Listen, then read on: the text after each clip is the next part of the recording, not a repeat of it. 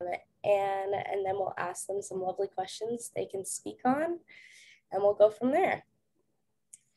Um, so I want to say that Career Week consists of series of panels with industry professionals that covers topics such as career paths, how to get a job upon graduation, career advancement, uh, gives Mount students and an opportunity to learn from industry professionals themselves. My name is Kayla, and I'll be your moderator for today's tourism panel. I would like to start to say uh, thank you to our extraordinary panelists. Uh, we have Kat Moaven, uh, Krista Lingley, uh, Carey Power, Karl Coutinho, and Emily Hayes. Uh, so I'll start by giving a brief introduction about Karl, um, who is a native Haligonian who grew up in our very own Clayton Park. Uh, Karl made the decision after high school to stay home and complete his Bachelor's of Commerce with a major in finance at St. Mary's University. He began his 20-year career with TD Bank in various roles, including management, business development, and commercial banking. Karl and his family purchased Avondale, Avondale Sky Winery and restaurant in Newport Landing, Nova Scotia, continuing to build a career at home. Next, we have Emily. Emily has been an executive director of Taste Nova Scotia, a province wide marketing association with over 200 industry members since 2016. In her role, Emily leads a multi phase program of industry awareness, member development, consumer marketing events, and the province's Buy Local program. Emily is active on several committees focused on economic growth, export development, and culinary tourism. Then we have Carey, who is the Director of Operations for Hotel Halifax and the Barrington Hotel. Her career started in university, where she was introduced to the hospitality industry at Dalhousie.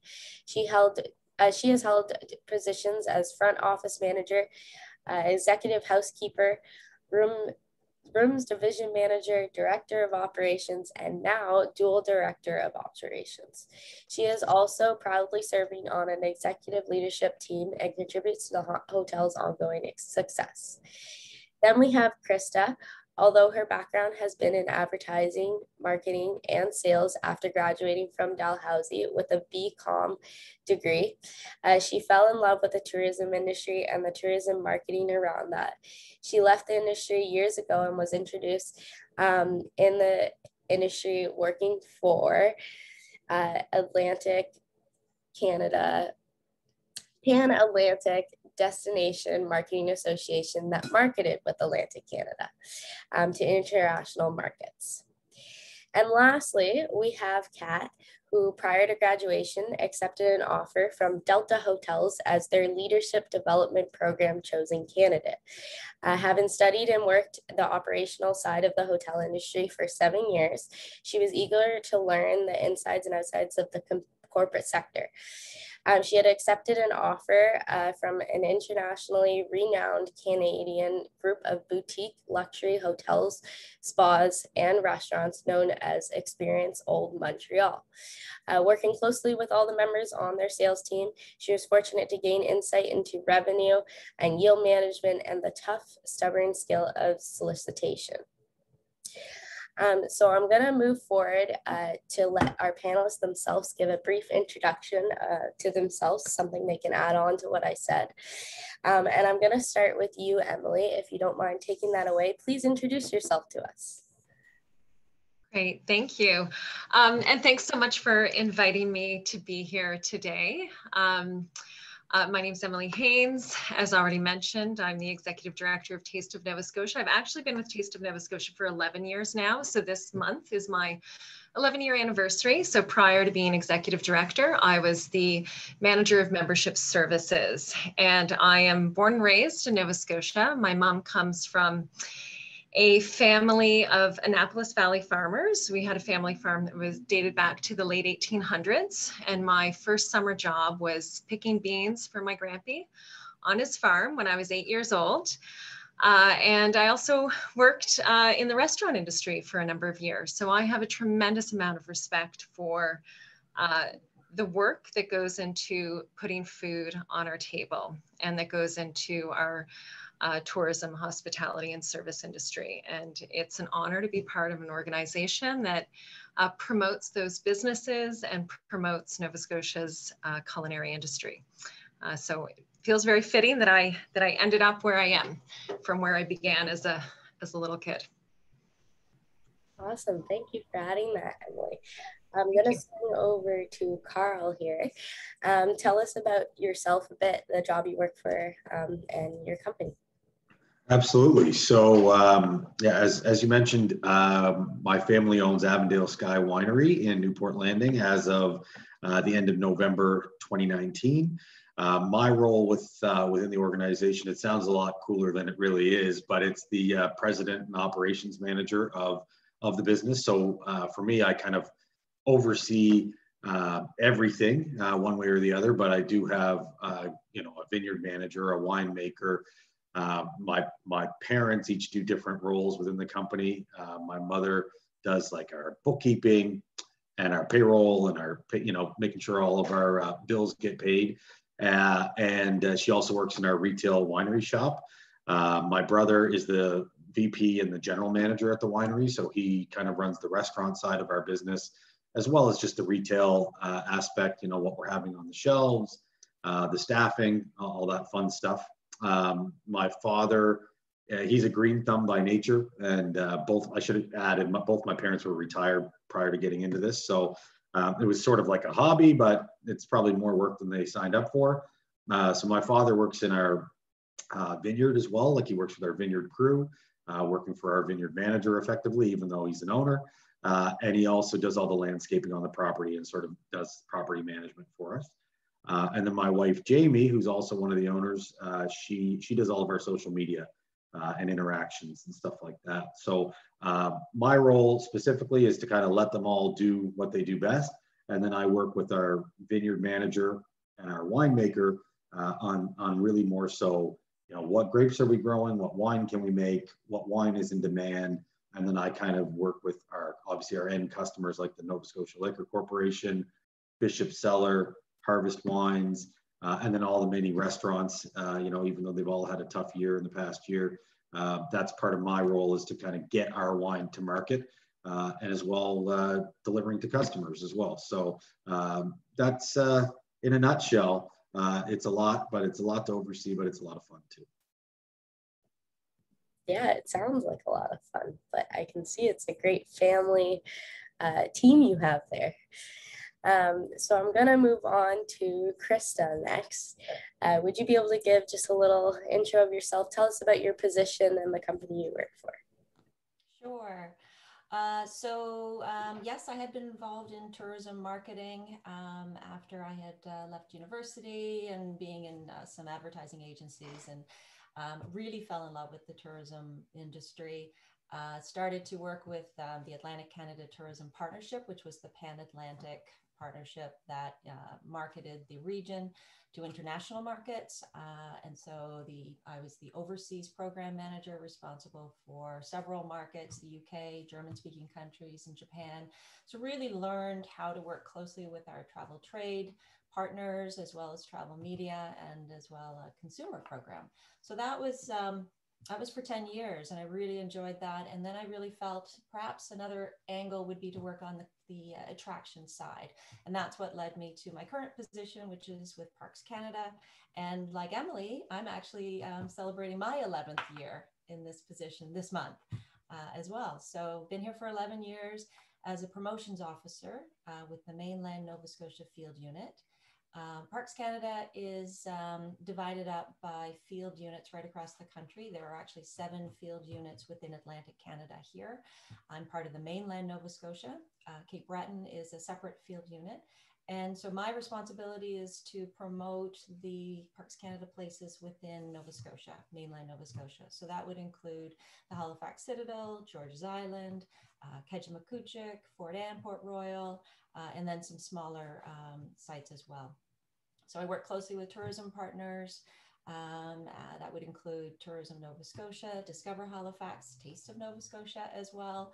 Uh, so Shore Tourism, uh, Destination Canada, and I have many colleagues um, that also contribute towards um, obviously bringing uh, more visitors into Parks Canada places, but also growing that awareness of what we do. It is a federal government agency and there are over 5,000 people that work for Parks Canada. But from a field unit perspective, we tend to be uh, to work very closely uh, from an operational point of view. Um, some of the types of things that I would be involved with could be from uh, frontline right through to photo shoots, uh, film shoots, uh, developing consumer marketing, um, and uh, the distribution of all of that. So it can vary from day to day. So it's a little bit of a snapshot. Yeah, thank you for that. Um, gives us some insight towards that. Um, so I'm going to move on to Carey. Would you be able to tell us a bit about yourself, the position you're in, and who you work for? Certainly. First off, good morning, everybody, and thank you to all the students who tuned in today. Uh, looking forward to spending the hour with everybody. Yeah, so my name is Carey Power. I'm the Director of Operations for Hotel Halifax and the Barrington Hotel, formerly known as the Delta Hotels. Maybe some of you may know them as Delta Hotels. Um, those two hotels are now managed by Silver Birch Hotels and Resorts, which is a Canadian company, um, which has a portfolio of over 19 hotels within Canada. Um, so my role, I, um, as mentioned, I'm on the joint um, leadership team for the two hotels and, and oversee operations. Um, so that includes uh, the associates at, at Hotel Halifax and the associates at Barrington Hotel. And although our executive team is a joint committee, um, we do run the hotels as two very separate uh, entities. Um, Hotel Halifax is sort of known for our meetings and conventions and being sort of that large heartbeat of the hotel of, uh, of Halifax. And the Barrington Hotel is a boutique hotel, more intimate, three levels, um, and again, has its own niche within Halifax as well. So that, that's an overview of my position. Again, excited to be here today. Awesome. Thank you, Carey. Um, and Kat, are you uh, able to give us a little introduction to yourself? She maybe stepped away at the moment. Okay, we can come back to her. Um, so I'll move on to our second question. Um, what we would like to know uh, is How important do you think speaking multiple? I like. Can I introduce myself? I'm sorry. Oh yeah, yeah. That's okay. Yeah, I was gonna swing back to you, but we can go to you now. So take no, it. No, no, I'm sorry. I was uh, sending an email. Um, I'm very sorry. I did listen to everybody's everybody's information. Thank you very much for inviting me again. It was a pleasure to be on the Learners and Leaders conference last week. It's a pleasure to meet um, all the alumni, and thank you again for inviting me. I am currently um, director of sales and uh, a board member and investor of Pure Entertainment Group Inc. We are a global bespoke luxury travel and lifestyle management company catering to uh, high net worth, ultra high net worth. Um, be it celebrities, political figures, or your run of the mill investment banker, someone who's very specific and uh, works very hard. Think of it as a, a high-end travel agency, but we also do conciergerie, um, not a hotel conciergerie, but let's say um, you're in Copenhagen and you need uh, a booking um, at a restaurant, or you happen to someone from Milan finds himself in Halifax and really wants to explore Cape Breton. Um, that's what we specialize in. Um, I come from a background, um, I'm Persian, so hospitality kind of is in my blood. Um, I did do an undergrad in law and French law at the um, in, a, in, a, university in the UK, and I was a transfer student to um, the Mount. Um, that's where I made some of my best friends. Uh, the hosp- I, I still um, technically live in Canada. I'm in I'm in the US right now, um, but my permanent residence is still Canada. And I have to say, having lived in Montreal and Nova Scotia, no one beats. Um, there are no warmer people than Nova Scotians, and I'm very proud to uh, always give back to the university and the institutions where a lot of my dreams came true. Thank you for that. It's amazing. Um, so I'm going to move on to our second question uh, of today's panel. Um, so we would like to know if uh, you see it as important um, for someone coming into your career speaking multiple languages. Um, what languages uh, help people uh, keep jobs. Um, what languages help people uh, pursue their career um, in these tourism jobs uh, that benefit them the most, that you would say? Um, I'm gonna just get everyone to give their brief input here. So I'll start with uh, Kat Ashley, uh, if you can just give your input. Um, in the 90s, um, I'm a little bit older than the students here, I guess. Um, in the 90s and the early 2000s, um, a lot of the reading that I did said that IT and languages is something that you should always um, invest in because those are things that could never really go wrong. Um, languages definitely help in the tourism industry. Um, even if you're a traveler yourself, if you, let's say, go to Montreal and you speak French, that helps right? So if you're going to apply for a job um, at Delta Hotels, which is where I did my leadership training, or you want to um, be, uh, an, you know, enjoy be a management trainee for the Fairmont hotels, which move you around the world. On your resume, it definitely helps. Now, languages on the side help your brain grow. They give you better memory. Um, they help your listening skills. They make you verbally and non-verbally more intelligent. They help your cognitive, um, dec- like they actually help you cognitively decline less. They make you creative. They make you multitasking. And most of all, it looks good on your resume. I would say be very specific about whether you're proficient or fluent. Um, you don't want to enter uh, a job and say that you're fluent and then they find out that you're proficient. There's nothing wrong with saying that you're proficient in a language and fluent in one, but it definitely helps. And whether you're going to be a tour guide with Parks Canada or you're going to work for Tourism Nova Scotia or Tourism Montreal, Tourism Toronto, languages are definitely um, a plus to have. But if that's not your thing, then show your other skills. Thank you, Kat. And I'd love to just hear your, guys' opinion on that. Um, Emily, could you say uh, how important do you think languages are uh, to a career in tourism? Um, maybe what language specifically? Well, I guess that really depends on where you want to work. You know, Canada is a bilingual country, so certainly having French and English is uh, is a great asset. Um, however, there are many languages that can be an asset. I think it really depends on how you um, leverage it as an asset if you do have multiple languages. I, I feel really grateful that my parents put me in French immersion when I was, you know, two Anglophone parents uh, who can't speak a word of French. Uh, took a chance and put my sister and I in French immersion. And that was in the early days of you know the beginning of French immersion being available in Nova Scotia, and it's definitely been a benefit to me in my life. Uh, I've chosen to put my uh, my daughters in French immersion as well.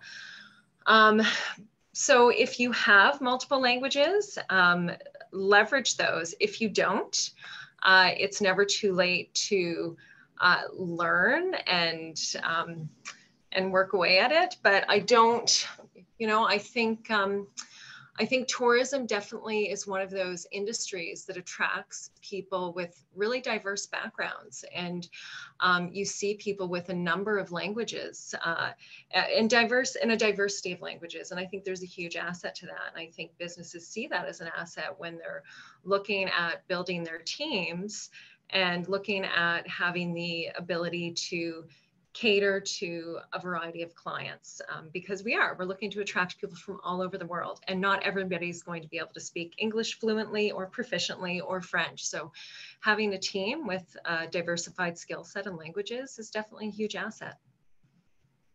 Yeah for sure. Thank you for adding that in.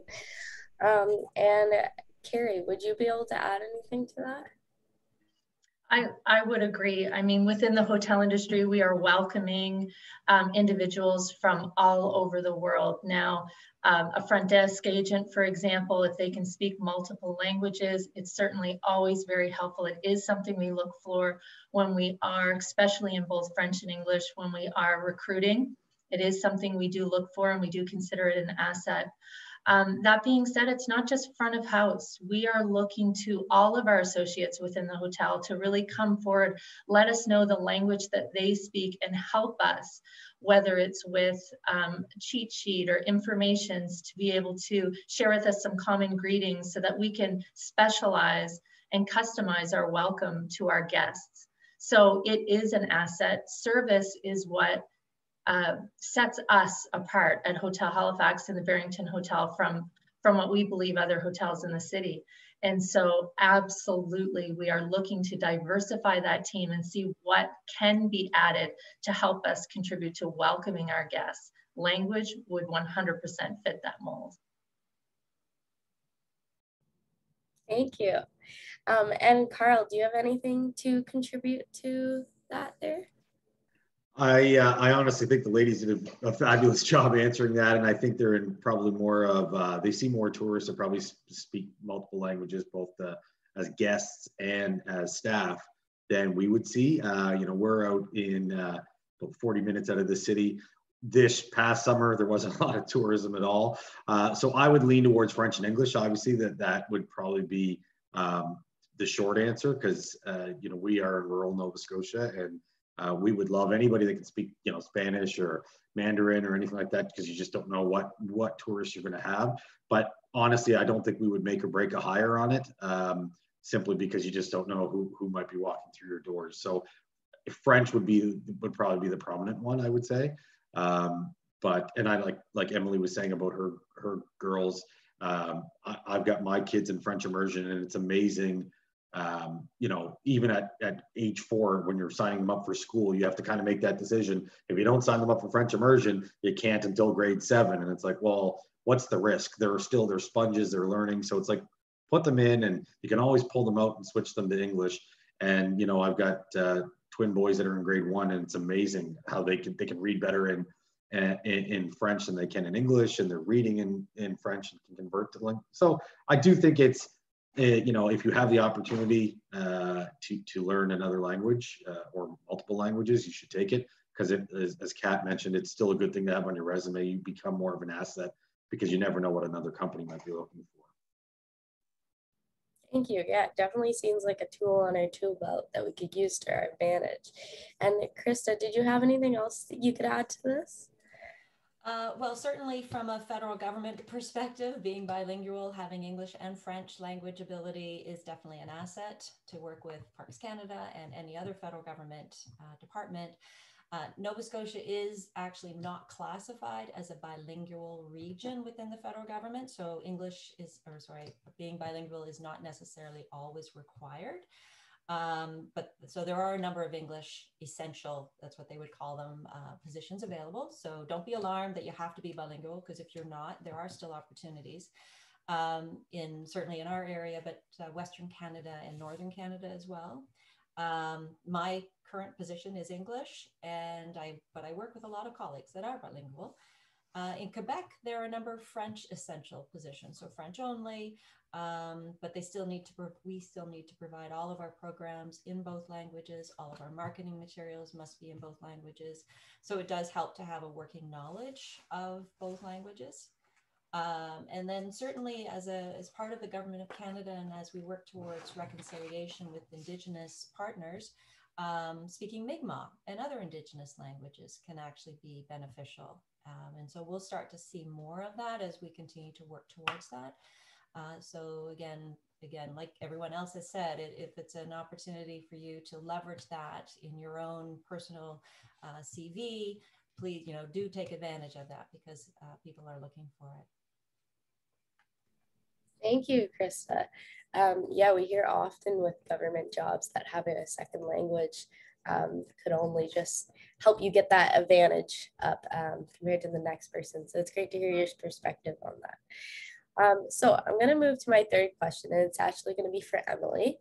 Um, in uh, April 2019, you went to Ottawa and spoke to the Standing Senate Committee of Agri on Agriculture and Forestry to discuss the importance of supporting local food producers, processors, and entrepreneurs. How did you prepare to speak to members of our federal government, and what was the experience like? Um, it was um, it was really intimidating. I'm not going to lie. Uh, when they invited me to come speak to the Senate Standing Committee on Agriculture, I I, I think I asked, "Are you sure?" Because um, it was I was still I felt still felt fairly. Uh, you know, new in my role as executive director, though, um, you know, I was two and a half years in. And Um, but it was an honor to be asked. Uh, the preparation, I spent a great deal of time actually preparing. Uh, uh I reached out to uh, provincial uh, colleagues to get statistics um, that I didn't have ready access to on uh, the agricultural industry in Nova Scotia in terms of the number of farms and the economic impact of the industry from both uh, the local standpoint as well as the, the export standpoint to look at uh, key industries um, and key products for our industry. Uh, I really wanted to be able to speak to it beyond what I know as the executive director of Taste of Nova Scotia and the 200 plus members that we work with. I wanted to be able to speak to it on a deeper level as well.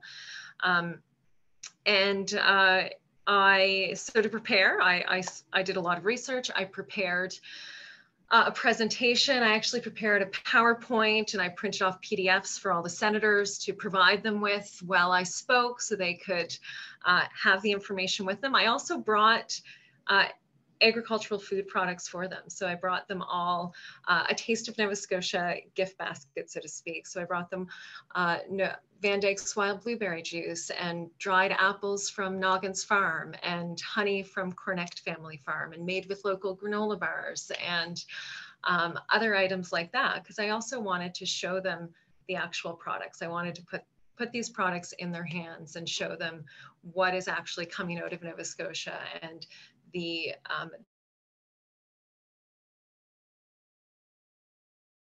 product, but it's it's all the entrepreneurial um, businesses that it inspires. So the food production and how that impacts our restaurant industry and our culinary tourism industry and how we tell our story in Nova Scotia through food and drink and how this is a huge part of our attraction as a culinary tourism destination, the story that we have to tell. And I really wanted to impress upon them that this is, um, you know, there, there are very real people behind this, that it's part of the fabric of who we are in Nova Scotia. And it has a tremendous economic impact beyond just the fruit that grows on the trees, or the product we pull out of the ground, but everything else that it contributes to. Um, and it was, yeah, it was a really, it was a really exciting experience. It was definitely intimidating. Uh, but uh, I'm very grateful that I had the opportunity to do it and uh, would not hesitate if I were uh, invited back in the future to do it again. Awesome. Thank you for adding that. Um, you not only gave them some visuals, you gave them the whole experience. Did they get to try them? They did, yeah. They cracked them open. They they enjoyed they enjoyed them. I mean, that's what we do. We, you know, Taste of Nova Scotia. We like to give people an actual taste of Nova Scotia, and uh, you know, we believe that you haven't really seen Nova Scotia till you've tasted Nova Scotia. So I really wanted to bring them um, a, a sampling of what we have to offer here in this province, and and um, some of the senators were from Nova Scotia, so that was wonderful as well. It was senators from across the country, but there were actually three um, three senators on this committee who uh, who are from Nova Scotia. Some fellow Nova Scotians. Yes. Um, so thank you for that, Emily. Um, that's super interesting. Um, and I'll, I'll, add one other thing, just in, in the context for students. When sometimes we're asked to do things that you never stop feeling intimidated or scared with some of the things that you're asked to do um, from you know presenting to what feels like a could be an intimidating group and you sometimes question your you know what value do you have to bring to this group? Um, but it it is you have to remember that everyone wants you to succeed and that these fears don't go away. As you get older and get more experience you st- you still have these opportunities that challenge you and take you out of your comfort zone and scare you. But you want to remember that this is where growth happens as well the people inviting you to participate in these opportunities and to present they're inviting you for a reason. They want to hear from you and they want you to succeed. Thank you emily. So i'm going to move on to our next question it's for you karl.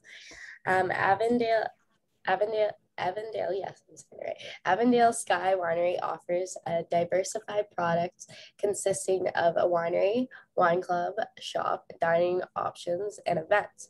What we would like to know what challenges and opportunities does this diversification bring to your business? Um, some complications or obstacles you had to overcome. Yeah, it's a good question, and frankly, it uh, our business gets even further diversified than that because we also are we're farmers too. So you know we're growing grapes and dealing with pesticide management. Uh, obviously, with any business, there's the HR component. Um, one thing I would say that you could look at it as both a challenge and an opportunity is because we're diversified. Uh, the challenge is there's a lot to manage. It's a lot to look at. You know, uh, keep your eye on the prize on each each area. Um, and it's hard to be an expert in each area. And I think I kind of alluded to that at the beginning. At least I have sort of managers overseeing each each department. Uh, but I've got to know a little bit about everything. I don't need to know everything about everything. Um, but so that's a challenge, uh, but it's also an opportunity because as we just saw in the past year with the pandemic, you know, uh, you have different silos in your business too. So if one isn't churning, and I'll give you an example, there was our restaurant, of course, which was a bit delayed in opening. Uh, there was the amount of people you could have on site, uh, which which obviously affected many businesses. Um, but other restaurants, right? Restaurants in the city or, or the valley that would typically, um, you know, look for a lot of tourism and a lot of lot more people in the in the in their seats. That means they might be buying more wine from us, and all of a sudden that dried up a little bit. So from a diversification standpoint, we kind of moved to a model of, well, we still have product, we still have to sell this, and then we use kind of an online channel and delivery. Um, so there, yeah, and like events, there wasn't many. There was a few small weddings, but again, a lot of people had to postpone their weddings this year. Couldn't have staff parties, couldn't have Christmas parties.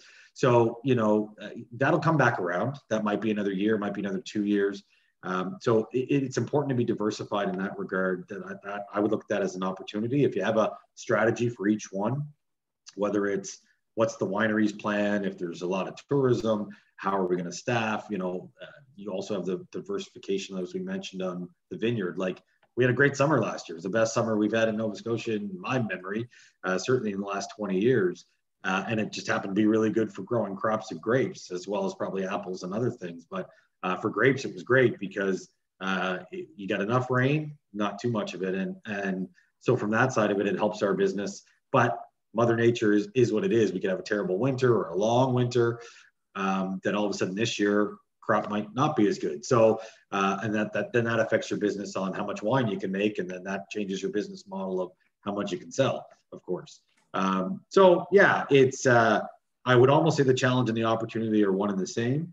Uh, it's good to be in different areas because if you if we were I always said this many times in the past year, if we were only a restaurant, I would I'd be scared, um, as I'm sure many other restaurant owners would feel having it as part of our business, it's a drive to get people out to the winery, hear the story, hopefully have a great experience, tell their friends, leave with some product, maybe come back again.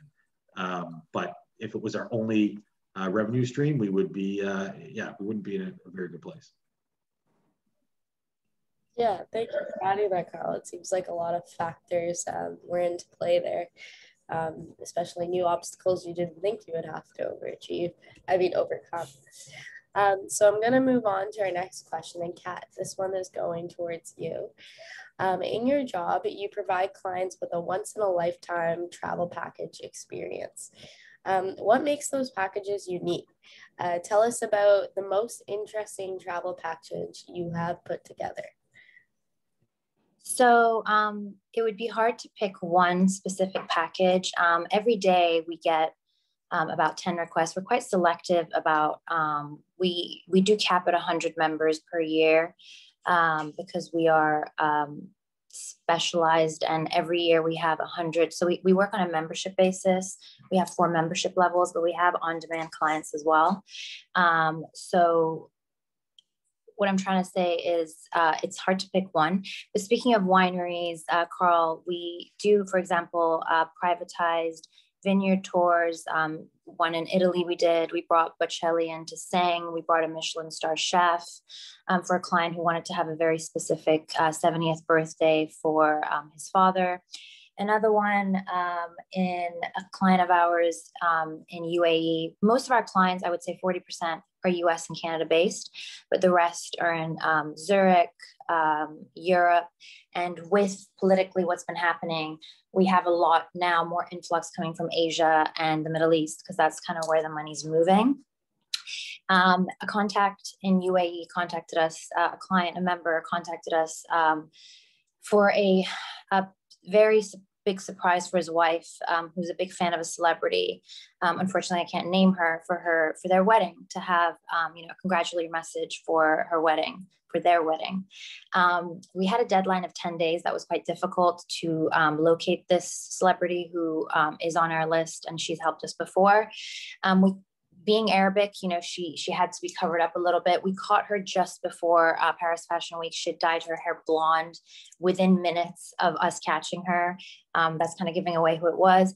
But she um, wished them a happy birthday um, in Arabic, and um, as a as a goodwill gesture, we also um, did a signed kind of um, congratulatory message from this client um, to the couple for bringing us, you know, this business.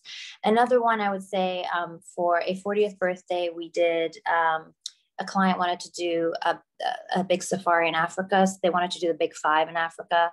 Um, we had uh, about four days to plan this. So we did a full package. They were flying from Zurich, Switzerland um, we landed them, we have a global address book, so we landed them for an eight day trip. Um, we did an intimate, tranquil hideaway in Kruger National Park for four days. They did a balloon safari experience. Um, they did body work. Uh, then they had a private vehicle twice daily taking them through the safaris and game drives. We're against hunting, so there was no hunting. Um, being a Canadian company, we're very much against that, um, but they got to do that. Um, following that, um, we took them to an iconic uh, property in Cape Town for the second part of their trip. Then we had a rugged helicopter um, ride over the majestic Table Mountain where experts showed them like the cultural walking tour and expert guide. Um, they did a painting class with a renowned African painter, wine and wine tasting. And then all this came with, you know, VIP meet and greets um, at the airport where they would just kind of, they came out of the jet, put their head down and just went through. I say all this, I'm on the buyer side. I very much miss the supplier side and working in hotels. Um, I do miss front office, which was kind of my thing. It was just there that um, when I was doing my leadership training with Fairmont and Delta, that's where they told me that, you know, I think your passion is conciergerie. So then I kind of wanted to start my own, but then ended up becoming partners with um, the CEO of the company where I'm director of sales now. So um, on either side, it's fun, you know, because no day is the same in the tourism industry. Uh, whether you're serving a client who walks into the Delta hotels or your winery, it's all about service. It's all about personalized service. So it all kind of comes to the same thing. And that's what you're studying right now. And whether it's facility management or whether it's, you know, you want to go into um, hotel management, a housekeeping planner, or a tour guide. So those would be kind of my top three things that we did. Thank you, Kat. Um, wow, you gave us some, some details there. It sounds like they, I hope they had an amazing experience. There's always complaints with our clients, don't worry about it. But overall, yeah, they do. um, so that's awesome to hear. Um, we're going to move on to our next question, um, and this is towards Carey. Um, we'd like to know uh, how did you make your way to such a high level position within your organization? Um, maybe some stepping stones or uh, something. Tell us about what got you. Sure. Well, I, you know, I'd like to speak with the students on this because I want every student that has an interest in joining the hotel industry um, as through that sector of tourism that they're able to attain these positions as well. And I know that from experience, and I'm going to tell you how to do it um, if this is your passion. Um, but for me, it did start as a part-time job during my studies at Dalhousie. And um, I quickly learned, and Kat mentioned this, that having that genuine personalized service every single guest every single time brings a, a sort of joy to those in the industry. And you quickly understand that um, I love doing this. I love making people happy. I love learning from where they came from. And once you get that bug and, and once you understand that this is your passion, from there, Um, I'll certainly give you what I think the milestones or the stepping stones are to advance your career, but 100%, that absolutely has to be the basis of why you're joining this industry whether it is facility management, whether it is a room attendant, whether it is a front office, or whether you want to join the executive team and learn more around the business side of, of, of running the hotels. That absolutely has to be the foundation because it guides every decision you make, every, every opportunity that you have to give input or say into how you're going to operate. It always comes down to the guests and that passion and that love for service. Um, so for me, anytime there was an opportunity in university to step up, and when I say step up, I would say um, become a trainer, lead a shift.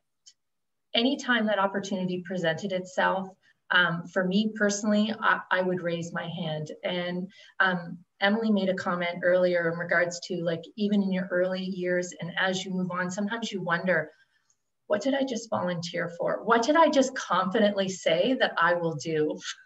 And you have a bit of self doubt sometimes when you do that. But when you jump in and you know you've always done it, um, you're you do it and you do well. And I will say that joining a company like Delta and Fairmont, and now our two hotels, Hotel Halifax and the Barrington Hotel, has a combination of that rich culture. Um, we want people to succeed, and so there is a support group to help you every step of the way when you're stepping up into these different positions. Um, for me personally, what I, I think sort of pushed the career is when I graduated from Dalhousie, and I was ready to move um, really into the health and fitness industry, which in my personal time, I do love to run. I run marathons. I love learning about the human body. Um, it just happened, the, the tourism industry just caught me. Um, so I still keep my studies in my personal life and all the things I learned in university does help and guide me um, the way I do a presentation, how I prepare for presentations. I mean, certainly everything I learned in university and everything that the students at, at the Mount St. Vincent are using are gonna help them move forward um, 100%. But for me, it was relocating. So um, I did have my first um, department, um, if you will, so the front office department here in Halifax before deciding to relocate. There are so many hotels in Canada. And so really just lifting your head, going back to that courage, applying for positions that might be a stepping stone above what you think you're ready or capable for, um, and, and going for it. Um, thirdly is taking the opportunity and signing up for every training opportunity possible. So from leadership training to finance training to um, union, union relations training. So within hotels, we offer all of that ongoing training, which really just adds to what you've learned throughout your schooling um, and um, keeps you current within the industry. And then beyond that, a mentor. Finding leaders within your organization that you can lean on, talk to, ask for advice to help move your career along would be a way. And I had a mentor. I'm very fortunate to have had a mentor. So here I am today. I've been in the industry for 23 years. I can't believe it. Literally right out of university. Um, and I still every day love coming to work. That's great to hear. It. Thank you, Carey. Um, it's amazing to see um, people who enjoy what they do so much. Uh, it gives us more confidence when we leave school. Um, so my next question is actually going to be for all of you. Um, we would like to know how social media and technology impacts the success with your organization. Um, if you're able to speak to that a little bit, Krista, I'll move towards you if you can answer that one. Sure. Um, Parks Canada continues to develop new ways to use technology in order to stay relevant with new and existing audiences. Um, our web pages, we work constantly to renew those, make them more mobile friendly, make them easier to navigate. We are required through the Government of Canada to follow the architecture. So sometimes we maybe feel uh, more limited than a private sector organization. Uh, however, it is a constant uh, uh piece of technology that we are continuing to work on. Uh, we've created some apps that have been very helpful um, in terms of helping our visitors plan their itineraries, find special events, find trails, things like that. Uh, this past summer, uh, as a result of the pandemic, we had our Learn to Camp team um, pivot and create a podcast. This is working with the Friends of Keji. It's called Thinking Outside, the Learn to Camp podcast, and uh, invite you. There's a series of seven um, podcasts that uh, can be downloaded, uh, talking about storytelling, um, adventures, and interpreters, and what makes camping so important. Um, certainly, as Canadians, we understand the background of camping, um, but we have a lot of new users that we want to bring into our lovely fold enjoying camping. Um, and, and then in terms of social media, uh, we are using uh, social media to help build trust, build awareness, and brand awareness, and also continue with that authentic and genuine voice um, and you know ultimately we want to create ambassadors of our brand and that they will share it with their followers. And so we do have uh, multiple accounts at the national level which would include facebook and twitter and instagram and youtube. And then we have many uh, platforms uh, twitter and facebook at the site level as well that tends to be a little bit more specific. Um, obviously user generated content is is key for instagram and we've had our instagram for uh, four years. We're approaching um, about 470000 visitors or uh, users on that account. So um, it's constantly evolving and will continue to evolve and i've been really pleased to see our uh, national colleagues really taking that on because it is an extremely valuable platform for us Thank you. It seems like you're using your avenues to your advantage. I'm sure that helped um, when things were a little more uh, steadied there um, earlier on. Um, awesome. So I'm gonna move on to Carey. Would you be able to speak to that? How uh, social media and technology um, helps the success in your organization? Um, so for social media, um, very important to us as an independent brand now. Um, we don't have in our particular organization brand power that would direct people to your home website or the specific apps associated with a brand. So for an independent hotel like Hotel Halifax and the Barrington Hotel, um, I can share that you know it is the most profitable avenue to have someone book their reservation directly at the source. There are commissions, there are fees associated with other platforms, and so social media for us is a way to capture the audience of our um, Maritimes, which is predominantly who travels to our hotels. 70% of our business does come within locally within the Maritimes. Um, is through social media. And so whether it's just contesting or suggesting or sharing or posting special rates, social media becomes very important. And we've actually hired um, students um, and uh, I would say younger, but students and those that either have the training or have the ability um, to really creatively um, utilize uh, social media to, to have that voice within the maritime forest.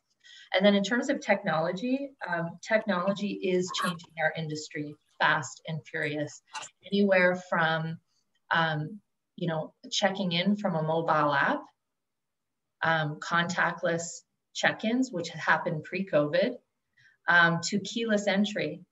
So technology is really changing the way hotels do business and it will continue to change. And if we don't change, and if we don't hire students and individuals that can help bring us to that front, we will fall behind. And and we've got to keep we've got to catch up. We've got to make sure that we stay there. So technology is extremely important in the hotel industry. Thank you for that, Carey. Um, yeah, I've always wondered about that actually, because I noticed when we started seeing um, more just like keyless entries and um, I was very young when that switchover was made, but um, even just like noticing that I was in a hotel that didn't have one, that that was like something I noticed was surprising.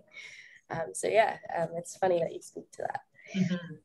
Um, so thank you for answering that. I'm going to move over to you, Karl. If you could speak how uh, social media and technology helps the success of your organization.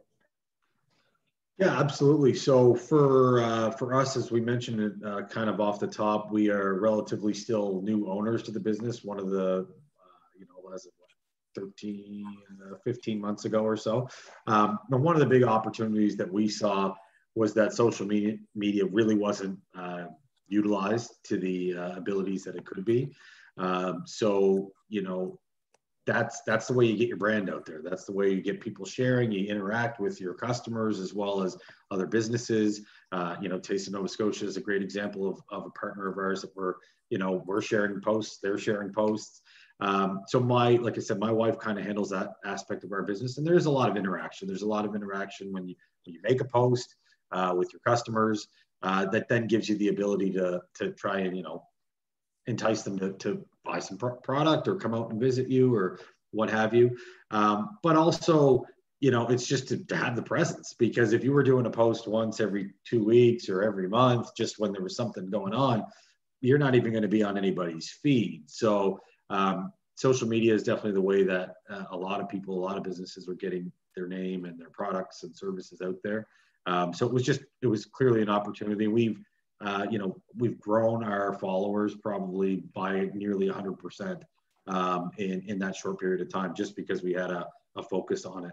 Uh, and also trying to get people to like and share and follow uh, because that's how we give a lot of updates on product that we have releasing or events that we have going on. Um, sorry, the other question was social media and just technology or? Yeah, yeah. technology help you guys um, uh, be more successful? Yeah. So um, I, I, don't. I mean, I guess it's still technology. It's probably not as cool as keyless entry and stuff like that. But uh, you know, online, like an online platform. Our our business historically, again, prior to us taking ownership, was if you were ordering it online, it was simply because you didn't live nearby. We were shipping it to New Brunswick or Ontario or Alberta. Um, and so what we did with the business model and what really, if there was a silver lining to COVID, uh, what it gave us was people weren't supposed to leave their house.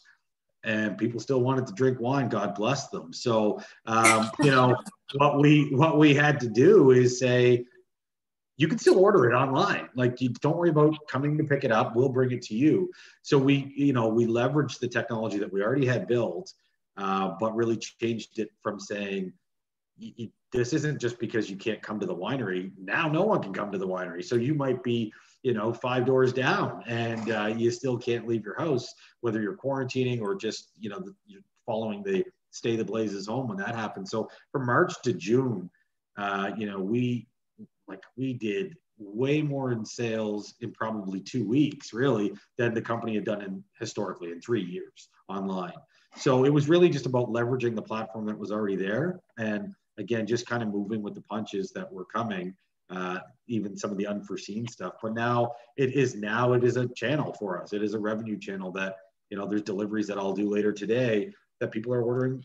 Then it's convenient, right? At the end of the day, that for our business, it's getting your end product to your customers, and convenience is key. Um, so that that I guess would be, uh, you know, I could get into some of the technology on sort of uh, wine tanks and, and and equipment, but probably pretty boring.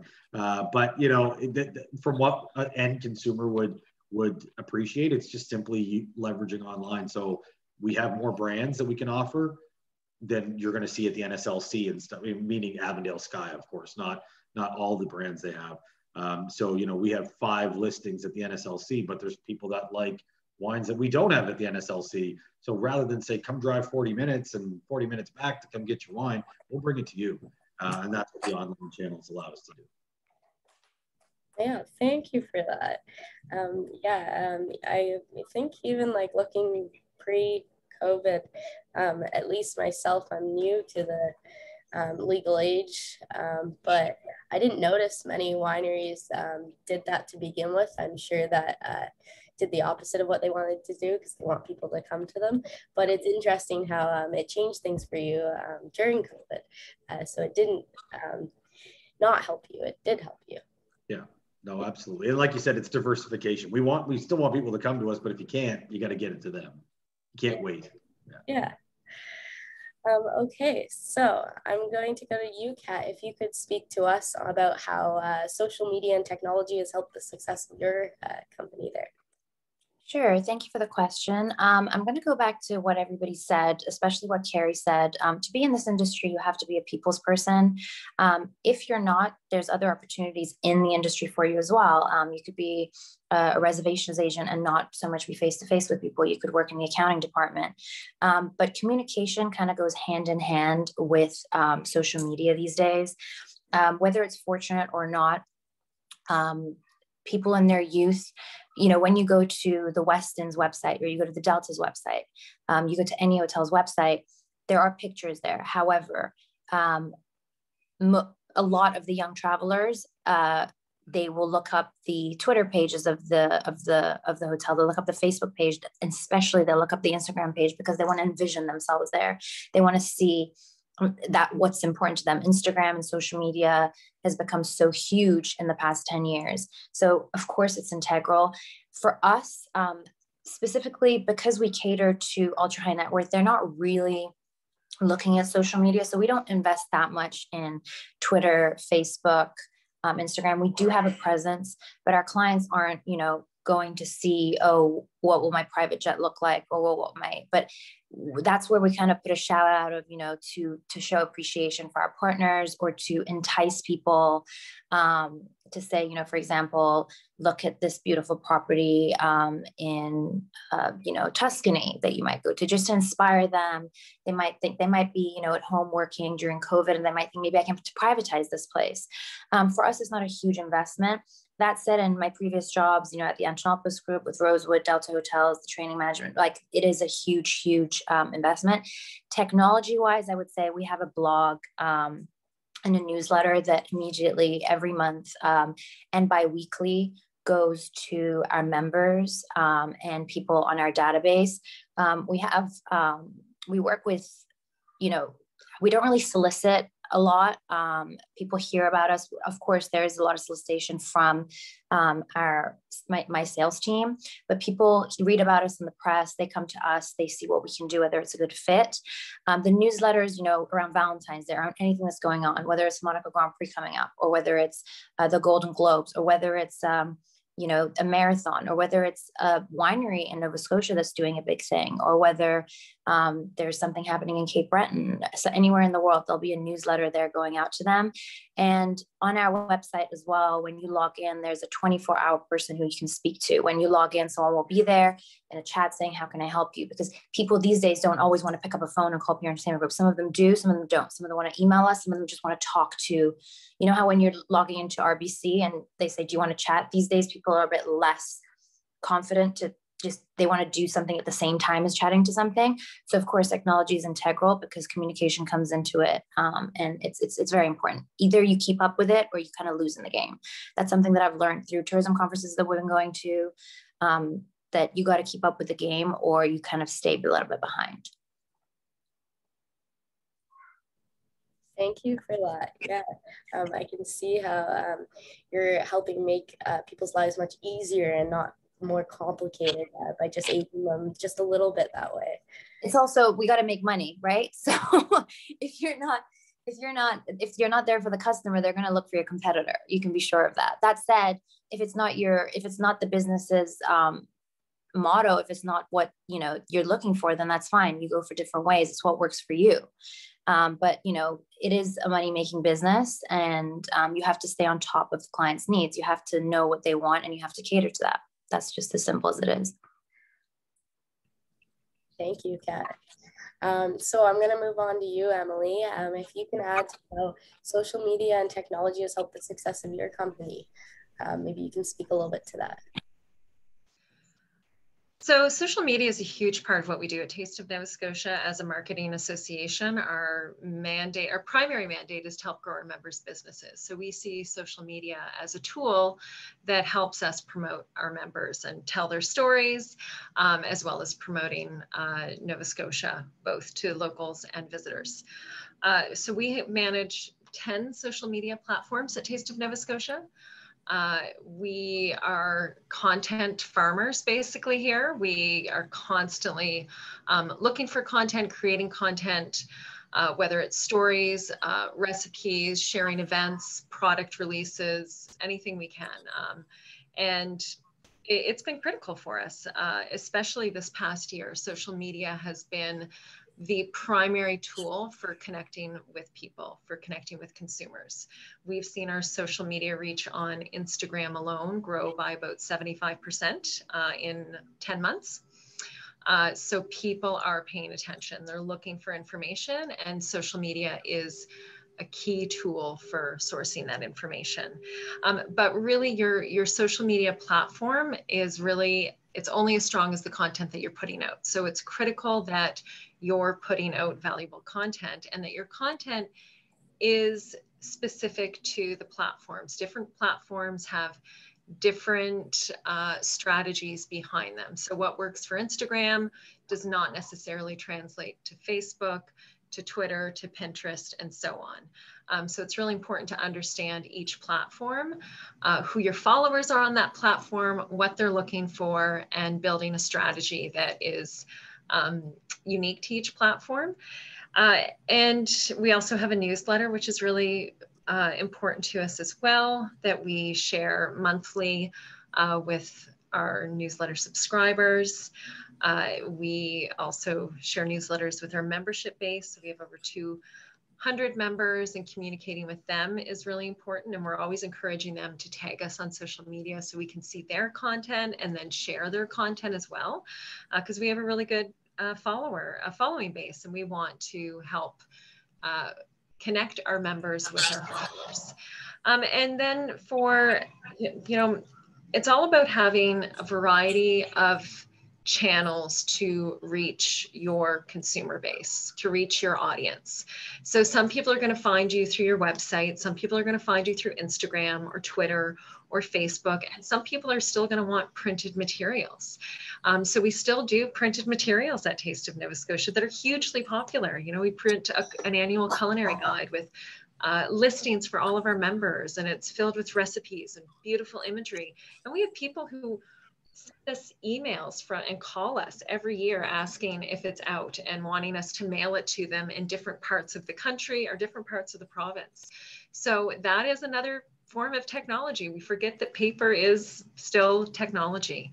Um, and this year we're actually built, uh, we're going to be launching a mobile app in the spring that will be, uh, um, you know, will have the capability for people to plan their culinary adventures to eat, drink, and explore their way around Nova Scotia from the palm of their hand. Uh, so we recognize that that is another really important tool. People are using their phones constantly.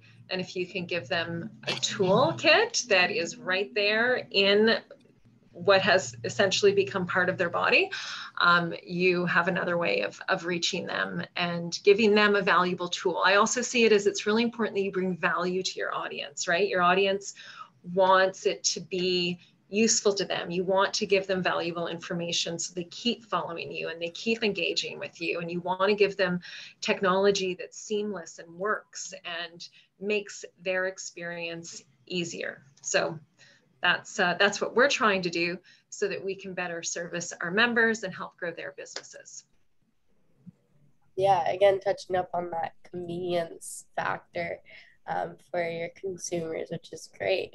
Um, I also like how you mentioned about understanding all different platforms um, for uh, who you're posting for and like um, understanding your audience there. Um, even just like running social media for, say, my soccer team. Um, I don't like regurgitating the same information on everything. to me, it just gets a bit repetitive. So I like that you guys are considering that and everything. Um, okay, so my next question is we would love to know uh, what advice you would give to uh, students who want to work for your company. Um, Carey, if you would be able to take that away.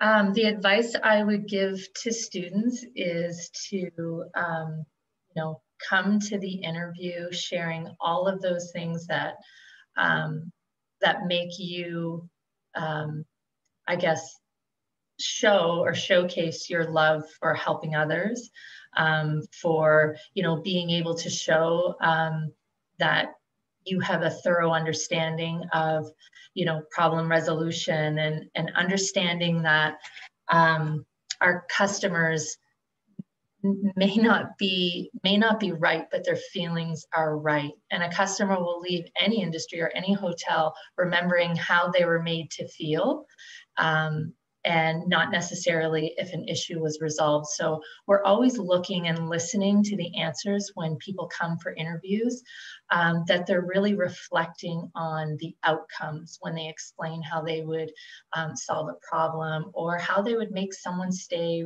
really special. Um, we're looking to understand how how you could make that how you would make them feel. Um, and so sometimes interviews are hard, and I think there's great people out there that will bring a lot of value to Hotel Halifax and the Barrington Hotel. Um, but I would, my advice to students is to really practice and ask industry, you know, what are you looking for in an interview? What is it that would set me apart? And sometimes it's just about the act and the skill of showcasing. Um, so that, that would be my advice. Um, if any students ever want to connect with me or, or call me, you're certainly welcome to do that. But um, or also just ask anyone that that is in a hiring position and really refine those interview skills.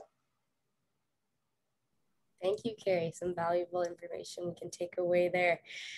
Um, so I'm gonna keep this going as we're uh, getting into our last seven minutes. Um, Krista, would you be able to tell us what advice you can give to a student who's looking to uh, get a career in your company? Sure. Um, first and foremost, I would encourage anyone interested in working for Parks Canada to apply for student positions. They're a really great opportunity to get operations experience, get that foot in the door, find out what types of experiences are really offered in that area uh, geographically or from uh, in terms of a certain um, interest area. Uh, they generally run May to September, so they fit well with a student schedule, um, and they can be in resource conservation, visitor services, uh, natural history, uh, heritage presentation, or even office support and working in uh, tourism promotions, for instance. So you register with GC Jobs, which is the jobs.gc.ca. Uh, make sure that you have an account. Um, that's where all the Parks Canada jobs and federal government jobs are posted uh, for and that are staffed externally, and that's important. Um, and when you apply for the position, give as many details. The form that you fill out um, really will allow for all of that. So make sure that you populate it with all of those skills that you really feel uh, that you could leverage in the position. And I got this tip from one of our human resource uh, contacts that would copy do make a copy of the poster the job poster and that's really the job description so that uh, for all of the ones that you're applying for so that when you are invited for an interview you're going to be asked a lot of questions and you are assessed on those questions and they di- they directly relate back to that job poster so it's just a tip you know give it a, print it out i know we don't print everything but that's an important one to print and if you're interested in knowing more, we our website, um, parkscanada.gc.ca. You can go online and find out. There's a join us category at the top of the menu. Uh, lots of information, uh, and we've also got a Nova Scotia webpage for um, some listings that are specific to Nova Scotia. And there's the uh, FSWEP, which is the federal, federal Student Work Experience Program that you can also uh, log into. So there are a lot of great resources. And again, do your research online, find out what is available to you, and spend a time thinking through how, how you want to present your skills and your experience. Thank you for that, Krista. It seems like there's lots of opportunities there.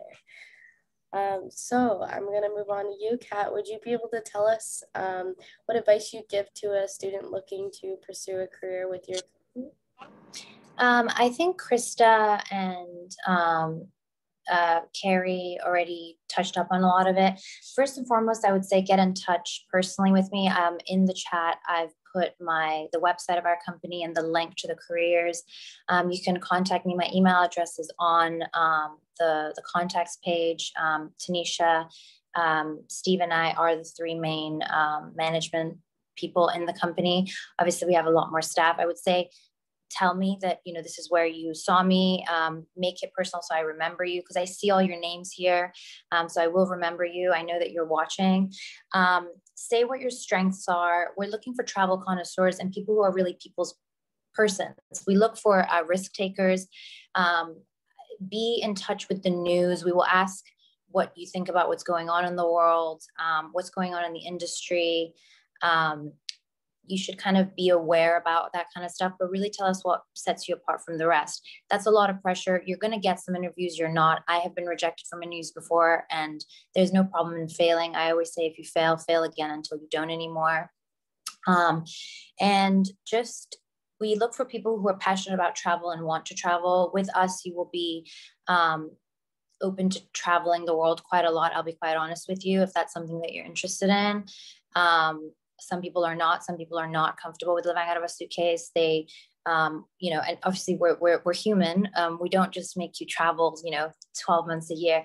And right now with covid something that it's showed us is that everyone can in fact work from home. That i know that question was um, taken out but it shows that you know we all are versatile and everybody can actually work from home. But you know covid will be over by 2025 um, in the tourism conferences that we have every airline is making their employees sign that you know by 2025 they're not obliged to bring them back but this will be beaten in the next few years. You don't need to worry about that. I would say get in touch with us and um, are we going to do the last question um, about you know uh, what advice would give or is that out? Like, I, I, think that we're wrapping up here uh, okay. two minutes that's fine. I was just only going to say that um, you don't always have to get the highest grade in the class. Don't be upset if you get a B. Um, don't walk out of the exam upset. Spend as much time as you can. Make yourself a little corner in your home and study in that little library. I was always that kid who was um, in the little quiet corners um, but then socialize, network. This is part of the networking network with us. Carey would love to hear from you. Emily would love to hear from you. Karl would hear, love to hear from you. I think, you know, we see the potential. That's why you're here. So I would just say network, network, network. Thank you for that, Kat. Some great advice there. Um, okay, and Karl, would you be able to tell us uh, your advice for a student coming into a career with your company? Yeah, uh, certainly. So um, obviously, it's a it's a vast. We have lots of students that will um, that like even as young as 16, 17 that might come work in the vineyard as an example. Um, you know, it's a, it's it's hard work, uh, especially in you know hot summer days, 30 degree weather with the humidity you know you can bring as much water as you want but there's a lot of rows of vines to go through. So um, there's that side of it the agriculture side that we, we certainly can hire students younger. Um, because obviously we're serving alcohol you've got to be at least legal age um, to work in the winery or the retail side but we uh, we would have opportunities for whether it's serving staff if you have a passion in some, sometimes at 19 and 20 might be too young to have a passion in wine others maybe not.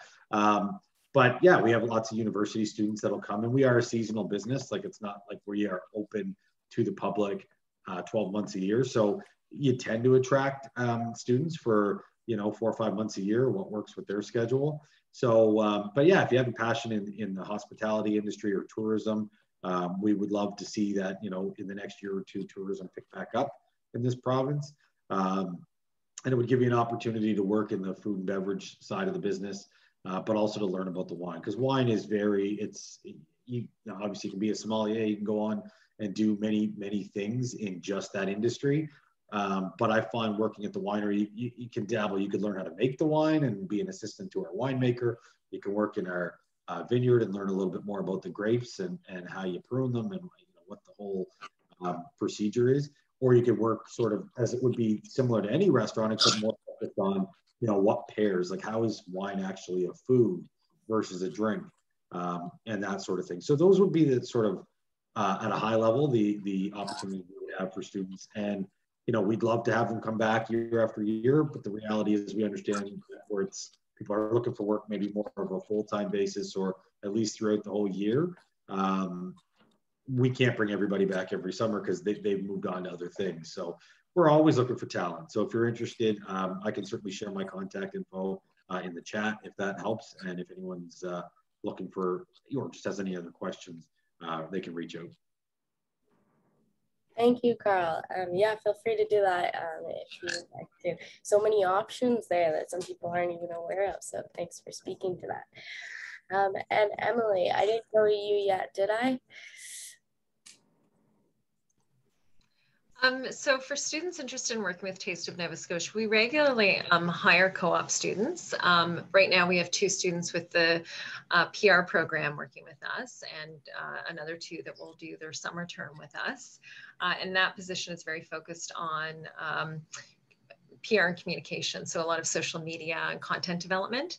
But we have had um, some tourism specific placements uh, that unfortunately had to be put on hold last year uh, or had to be canceled last year due, due to COVID-19. We have a space at the Halifax Waterfront Visitor Information Center uh, specific to Taste of Nova Scotia where we provide visitor servicing focused on culinary tourism and focused on um, our member experiences. Uh, and we're unsure what's going to happen this year. Um, a lot of things are in limbo because of uh, the pandemic. Um, but what I would recommend is, you know, look look for those. Uh, if there is an opportunity um, and you do get an interview, I'll build on what uh, the other panelists have talked about understand the job description. If you do get to the phase of um, getting offered an interview, whether with us or anyone, you've been offered an interview because they see potential in your resume. They see potential, they see that you're hireable. And so take that as a very serious opportunity that you need to prepare for. So understand that job description, understand the skill set that you can bring to it, and also understand the company. It is so frustrating to an interviewer when the interviewee arrives and is unprepared.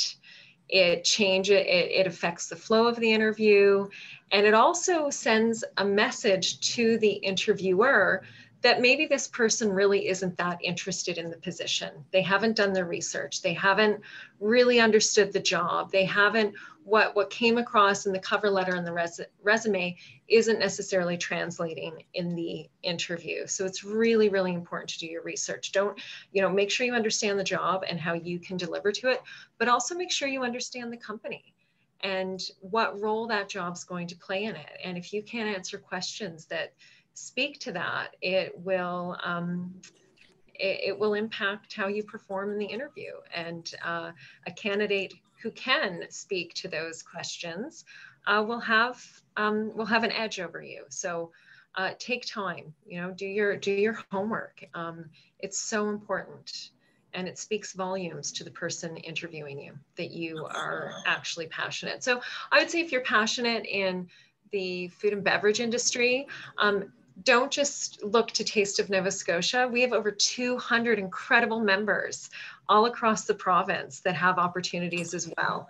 So um, cast your net wide, uh, find the area that you're interested in and apply for uh, as many opportunities and that you can that uh, that spark interest in you and, and answer to what you're passionate about in this industry. I couldn't agree with Emily more there. Awesome. Thank you. A nice little uh, conclusion there to our panel today. Um, that brings us to the end of our time. And uh, on behalf of Mount St. Vincent University, uh, we would like to thank our panelists today extremely for coming and giving their time, um, their advice, and valuable information. Um, we will be able to take this away and um, use it for further uh, educational experiences or job opportunities, just um, having someone speak to this is amazing. So thank you. Um, and yeah, so thank you again for students who were able to attend to our tourism panel um, and finale to our 2021 Career Week. Um, that brings us to the end of our session and it was nice having you all. Thank you. Thank Break you a leg in those exams, guys, and stay strong. Bye Take now. Bye-bye. Thanks again. Bye. Thank